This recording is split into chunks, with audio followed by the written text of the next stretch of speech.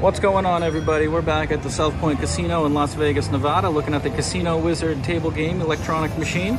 And in today's video, we're gonna be checking out the Casino Wizard Blackjack. Uh, it's pretty straightforward. Playing on one screen, you have a Lucky Charlie side bet that's available to you. Those are the payout tables right there. The min bet on the blackjack is gonna be $3. The max is gonna be 200.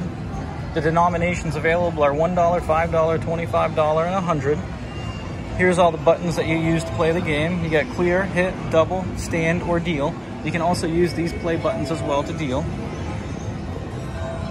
That's how the screen looks, and uh, let's, oh, we didn't get it in time, so let's wait till it resets. We'll go back, and we're gonna look at everything. The help, all right, here's the game rules as displayed by the Casino Wizard machine.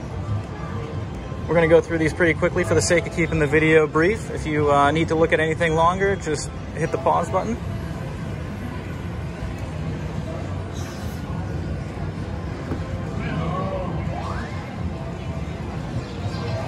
There's the Lucky Charlie side bet. All right, and that's gonna do it. So we're at South Point Casino in Las Vegas, Nevada. We're checking out the Casino Wizard Blackjack machine. Until next time.